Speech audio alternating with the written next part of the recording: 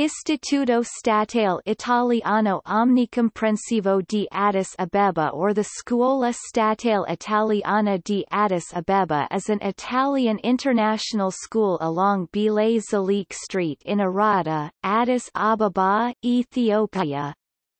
Owned by the Italian government, the school has primary, lower secondary, and liceo upper secondary levels. The school shares its campus with the Italian Cultural Center, and the school occupies three buildings.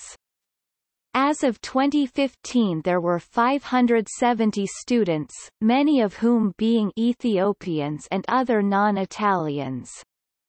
There were 44 teachers from Italy, 12 local teachers, and 27 auxiliary personnel.